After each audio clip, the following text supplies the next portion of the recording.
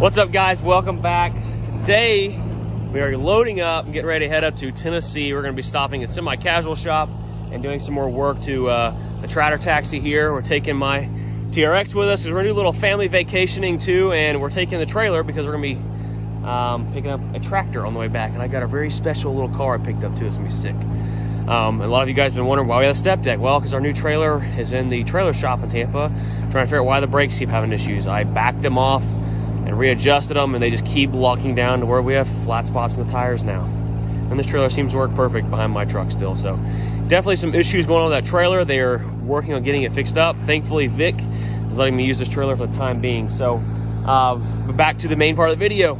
I've got a fuel tank installed back here so we can save on fuel, guys. We're gonna get the truck backed up and fill her up. Also gonna drop a little plug for a green APU over there. That thing has been kicking for about an hour. It is like 93, 94 degrees here in Florida. And um, my wife Amber started putting stuff in the truck, some food, and we didn't want it to get too hot. So went ahead and kicked it on. We got the inside temp in here freaking cooling down, son. Cooling down. So this thing started up, pulled over there next to the fuel tank.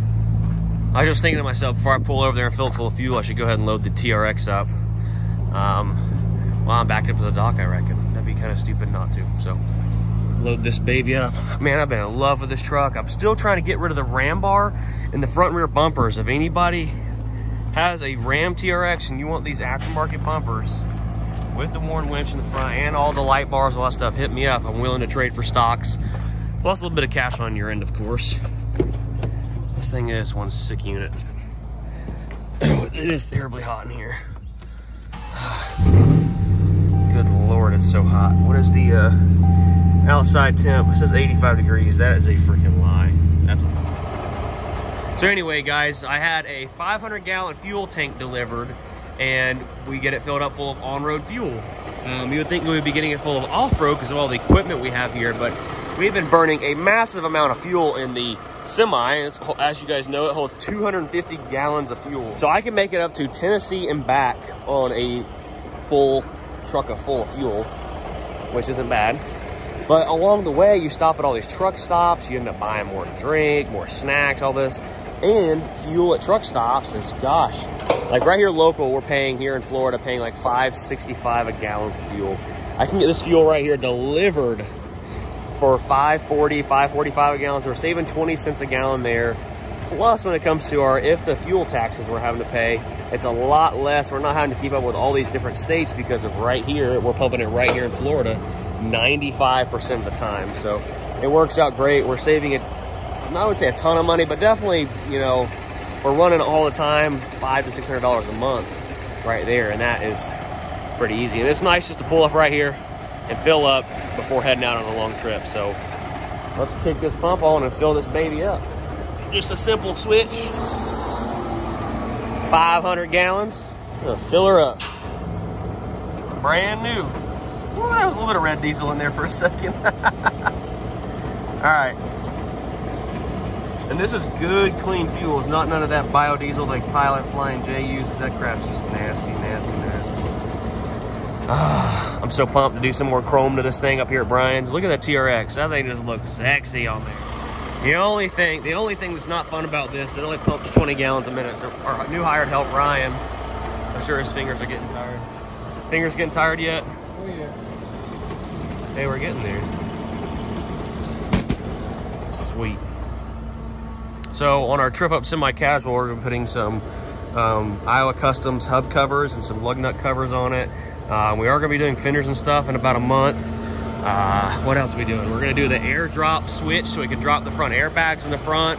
We're doing full six inch sleeper panels on it. We've got some breather lights going on in the front of this baby. She's to look freaking sick. I'm freaking pumped. So pumped. Can't, I'm so excited. And we'll be at the Large Cars and Guitars truck show. Our good friends over at Truck Trailer Pro sent us a surprise package with some straps See, I love the chains on the end zone because you can, if you got any sharp edges, these are usually catch the sharp edges before the strap does. And uh, we're gonna use these to chain down our TRX on the truck. We've got four of these total. Look at these babies, tote it out there and go strap the truck down. So never fails trying to get out of town and go get something done, getting everything rounded up here at the shop so my guys can do what they need to do while I'm out of town. It's awfully dark in here, guys. So I was over here checking breakers. We already put the panel back on, and um, we've only got one leg of power coming in. So we've got a 110 on this wire and 110 right here. Yeah, you guys will say something about touching too close to it. I get it, but we've only got one volt on this side. I'm actually pretty far away. And um, 110 over here, so we're a little low on power. So we call the power company, see if they can come out here and get us fixed up because we've only got one leg of power and our fuse panel here it's not happy. All right, just like that, we are all strapped down. We've got our Truck Trailer Pro straps on this freaking unit. She ain't going nowhere. And it's time to hit the road. Off to Tennessee, we roll. We're gonna be staying in the truck tonight. And uh, yeah, our full, full of fuel. Got my little scooter. We're gonna be using this thing. Oh my goodness, that's one thing I gotta say is that air dryer, when it drops freaking load out of there, it shoots crap everywhere. It scares the piss out of me every time. Uh, let's hit the road. So made it just north of I-10 on I-75. Uh, we're gonna try to get north of Atlanta tonight. I'm pretty well rested. It took me a good little bit of nap a couple days ago, so it's gonna roll over a few days to uh, be well rested. Let's check the chains on the trailer here. They should be all good. So I know this whole video is like, oh, we're gonna save a bunch of money at the pump, stuff like that. We're not getting fuel. Um, Amber's hungry and the baby's hungry. So we're gonna get some Arby's and just happens to be my dad's headed to the hunting camp and he was like 10 miles ahead of us. So we're gonna grab some dinner and pops and we had to stop and get some DEF. So I may look into a solution on getting DEF at the shop because the Dodge 5500 that we've got for the shop truck uses DEF and so does the Pete. So let's uh, walk inside and I'll prepay and get some DEF put in this thing and uh, man, I love these fake stacks. They're just the best thing. In sliced bread. All right, so we're pumping the diesel exhaust cat piss fluid. The one thing that pisses me off more than anything is how hard it is to pull this hose out of this thing. Like, why in the heck is it so hard to pull that hose out? It makes zero sense. You gotta step on it, hold it down while you're pumping. Just put, Ugh, this stuff's so frustrating. I swear, guys, I would delete this truck and remove all this crap out from underneath it if I didn't make a ton of YouTube videos and we weren't so much in the public eye because, as you know, we're not supposed to, not supposed to take this stuff off, but we just gotta deal with it for now. Off goes Pop Pop. We just had had dinner with Pop Pop, huh? Somebody just shipped their pants and mom had to go grab the diaper bag, huh? You ship your pants. You ship your pants. Stinky butt.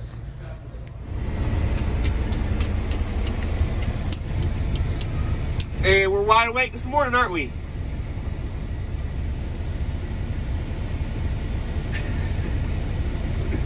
what are you doing, my guy? Mama just walked inside to go grab what? Go grab some food, and uh, we're about to hit the road. Back out here on the open highway this morning, Amber had to use the restroom, you know, pregnant lady stuff. And uh, me and this little guy are sitting here waiting on mama. Huh. Aren't we? He needs a haircut bad. And what better place to park than a place that says no parking anytime? I wish they'd say something. Like, I got a pregnant wife that had to go to the potty. It's all right. So we're about, uh, I don't know, it says we'll be there at 5 o'clock, 36 miles out from this little tractor dealership we buy tractors from. We're gonna go up there and pay them for a couple and then head over to my buddy Kyle's house and go and load the T-Rex. And uh, yeah, let's go. All right, so we made it over here to American Outdoor Equipment. Really nice dealership here. Beautiful place. They got lots of stuff. Lots of, oh my God, the wind, wind noise. Lots of new Branson tractors. And we snatched up a Yanmar 33 horsepower tractor. I'm just gonna show you right quick. Gunner, we go show them. So we snatched up this Yanmar EX3200. These things are extremely similar to the older John Deere tractors with the Yanmar engines in them. I think those older John Deeres are actually built by Yanmar. Uh, we got that little unit right there. Uh, we've got this little Massey 1428V with this brand new finish mower behind it. We're gonna be taking home, maybe not this trip, but on one soon. And this little Kubota B3350. What are you doing?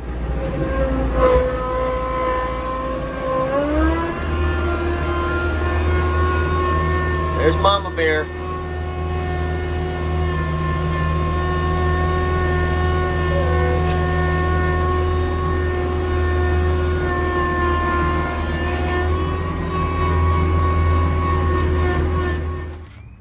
Right, so our B3350 Kubota's parked back here out of the way, and I've also got this little Mahindra here that we bought. It's been about a month ago. I'm finally gonna get up here and pick it up in about a week or so.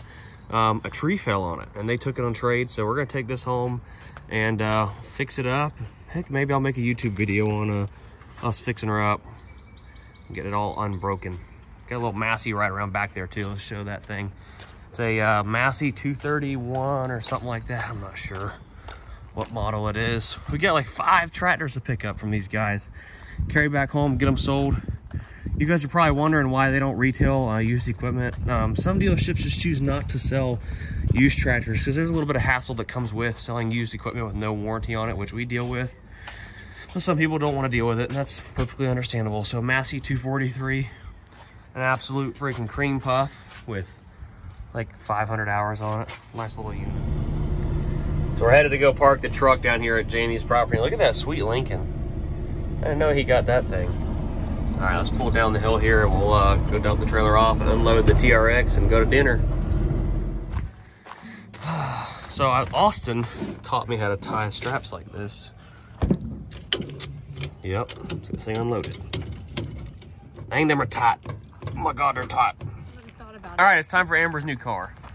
She hasn't got to see it yet. You, you, gotta look at that, how pretty it is on the inside. It looks, On the driver's side, come over here and check it out. it's got the flip up headlights. Look how long it is. So she's a 1978 Lincoln Town Coupe. I don't know all the details on it. But uh, it even comes with an antique auto license plate. Permanent. Shoot, we ain't even got to register this thing. Uh, it does need a little bit of paint work. Maybe the new, new top be covered and maybe buff it out. I'm not sure. But she's got a 460 in it, big block. And it's got everything. Even the AC compressor kicks on. It doesn't blow cold, but it does kick on. Uh, it does have a few little issues. Um, this window doesn't roll up and some other things. But look at these couch potato seats in here. I mean, it's got everything, guys. This thing is even a sunroof and it doesn't leak. That's pretty, pretty significant, if I'm gonna say right there, because usually these things leak really bad. Um, but very, very cool. I've always wanted one of these old cars. My papa used to drive around old cars like this. I thought it was the coolest thing. And he's long gone now, but this thing is a boat. It doesn't even fit in the whole frame. All original. It's even got the Lincoln uh, little thing here. I used to mess with those things when I was a little kid. The flip up headlights, pretty cool stuff there. Uh, white walls, the tires are even in decent shape. I picked this unit up. Look at the doors. Those doors are freaking huge. Two door. It only has 10,000 original miles on it too. Pretty freaking crazy. I'm pretty positive. I don't think it's rolled over because if it had 110,000, the seats would probably be in pretty rough shape and it's not. Look at that. What should we do with it? So all in all, I paid two grand for it. We got to haul it back home on the semi. So figure about 2,500, 2,750 bike fuel and things like that, getting it back home. Shout out my buddy Jamie for going and picking it up. And uh, the brakes are kind of a little iffy on it. We'll be lucky to get it loaded up. Had an ant on me. Um, and headlights. Headlights a little wonky, he says. So yeah, I'm super pumped about this thing. I know it's way off topic. It's not a semi or a truck or anything like that, but who doesn't appreciate an old freaking sled of a Lincoln Continental, guys? Make sure you smash that like button, drop a comment down below, and freaking subscribe. We'll see you later. Peace.